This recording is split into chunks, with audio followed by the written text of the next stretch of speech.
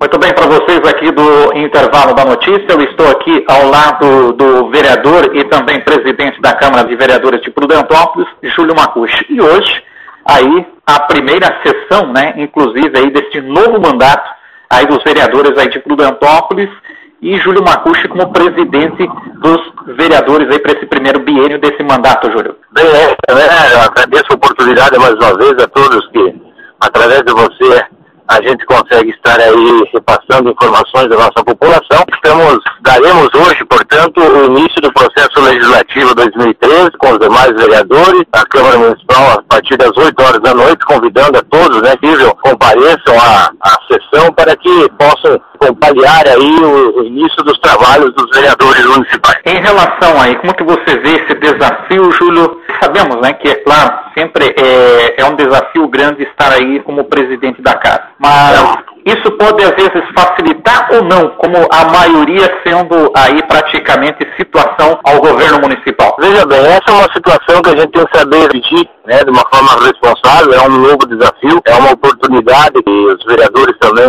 né, de forma unânime, me deram, confiaram a presidência, então a gente vai buscar fazer o melhor trabalho possível. E dentro do legislativo, né, nós temos aí na composição de 13 vereadores, são todos colegas de trabalho que estão aí bem intencionados, então a gente vai sempre procurar remediar as situações. Acredito eu que é uma Câmara muito, muito boa, uma qualidade, pessoas jovens, novas, além dos demais que se reelegeram, que são nossos colegas já da legislatura passada, mas nós temos também novos vereadores aí com muito, muito afim, com muita dedicação, vontade de, estar produzindo, mostrando seu trabalho, então acredito que vai ser uma Câmara Como mesmo você falou, Júlio, né, Prudentópolis hoje agora já começa essa, esse novo mandato com 13 vereadores. Como é que trabalhar com isso, sabendo também que a gente acompanhou todo esse processo, a população não foi muito favorável a esse aumento de três vereadores. É, vai caber a nós, né, todos os vereadores, agora a responsabilidade de reverter essa situação, né, de demonstrar que, como nós defendíamos lá atrás, que quanto maior a representatividade, maior o resultado e melhor o resultado. Então, cabe a nós agora a responsabilidade de estar aí no número de 13 e estar aí fazendo o nosso papel, né, todos os vereadores, para que a população veja isso é, no resultado do dia a dia. Se isso se transformar em bons projetos, é, boas ideias, parcerias, representatividade de diversas localidades em todo do nosso município, como regiões, é, bairros, comunidades do interior, eu acho que aí sim nós estaremos colocando em prática aquilo que nós nos comprometemos, aquilo que nós falamos que seria possível se nós tivéssemos ah, um número de vereadores aumentado, né, a nível de 13, que a representatividade seria melhor, maior e o resultado viria para a população. Então, cabe a nós agora fazer com que isso aconteça. Né? Eu, como presidente, vou priorizar desde o início né, muita transparência nos trabalhos, né, a população vai, vai, vai verificar aí no dia a dia que nós não teremos é, mudanças no sentido de que a gente acredita de não promover nada por debaixo dos panos, como se diz na política, tudo às claras, tudo de forma transparente para a nossa população, para os próprios vereadores. Nós estamos aí sempre comportando transparência à disposição da comunidade no site da Câmara. Já fizemos algumas realizações aí, algumas mudanças é, nesse processo de recesso dentro desses 30 dias iniciais de mandato a nível de diárias, portarias, regulamentando o uso de veículos. Então a gente vai buscar esse, esse fator primordial. A valorização do legislativo e também a transparência do legislativo. São as duas principais bandeiras aí do, do, do, do, do novo Câmara, Hélio. Júlio, também, como mesmo você falou, essa transparência, vai, é, você já falou em relação aí também que poderá se manter esse mesmo trabalho. Seria nessa mesma linha, por exemplo, a população poder lá estar usando a tribuna, a própria sessão ser transmitida como era por uma rádio local, é, vai ser nessa mesma linha como você falou mesmo?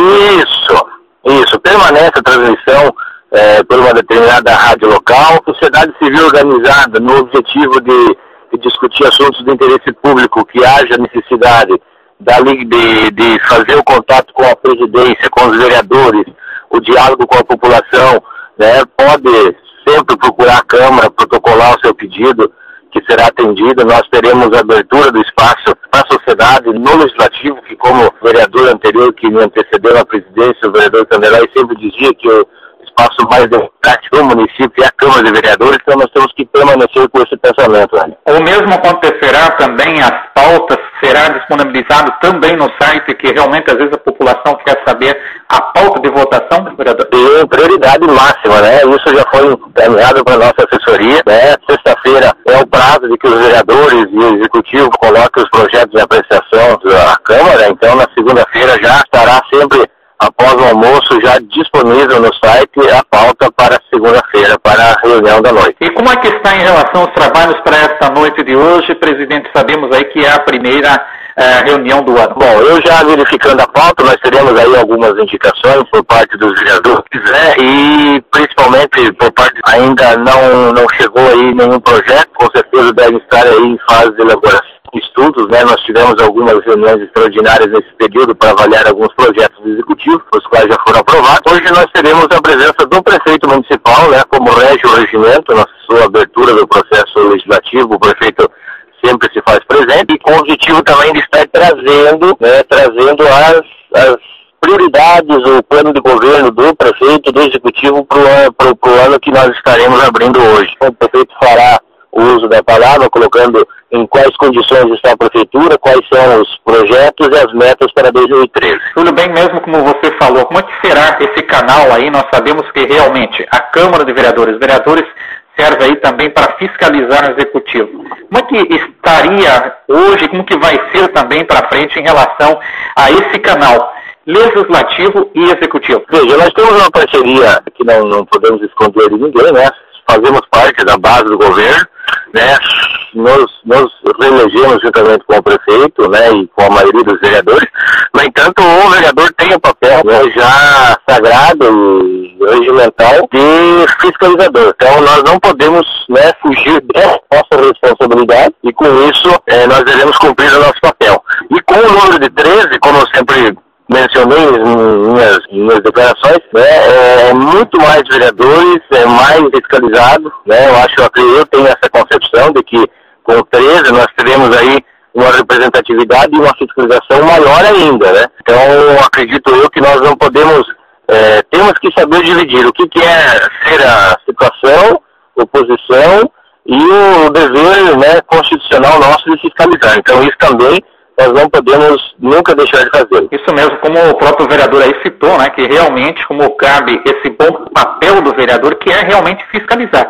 É, aprovar o que estiver certo e acabar cobrando o que estiver errado, né, vereador? Exatamente. Essa é uma das, das nossas obrigações constitucionais. Então nós não, não podemos fugir disso, de forma alguma. Eu gostaria então que você, vereador, e também como presidente, fizesse esse reforço aí para a população, que realmente participe que tenha sua voz ativa e que também, é claro, principalmente cobre, né? Porque nós sabemos aí que cada um acabou votando em um determinado. Mesmo se esse vereador não for eleito, que realmente cobre os demais, porque acaba se tornando os três vereadores como os nossos representantes aí na Câmara. É, exatamente. Nós, nós três hoje somos representantes de toda a população. Né? Reforço o convite e peço para que as pessoas sempre acessem os canais que estão divulgando o, o, trabalho legislativo, levando informação à população, através de você também, ele sempre, de forma independente, você está aí atuando e, e levando essas informações para a sociedade. Quero dizer que estamos atentos a muitas situações que estão ocorrendo no nosso município. Mesmo no período de recesso, nós estamos trabalhando, sempre à disposição.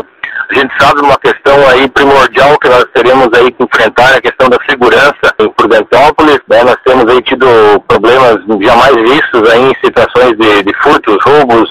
Então a delinquência está aí solta. Então nós temos, temos que tomar aí algumas atitudes, né? Então a gente está, eu quero dizer à população que a gente está atento aí a tudo que tem acontecido. A questão do nosso trânsito, algo que nós temos que discutir aí muito com a sociedade as melhoras no trânsito, a melhoria nas vias, na organização do trânsito tem ocorrido, porém ainda nós, como motoristas e pedestres, ainda não estamos sabendo obedecer essa legislação. Né? Estamos ultrapassando os limites de velocidade, muitos acidentes estão acontecendo, então nós temos que fazer um trabalho aí de, prevenção nesses aspectos. Velho. Muito bem, então tivemos diretamente aí da Câmara dos Vereadores com o novo presidente do, dos vereadores de Prudentópolis falando sobre esse início do trabalho legislativo aqui de Prudentópolis, repórter Hélio Corruti para o intervalo da notícias.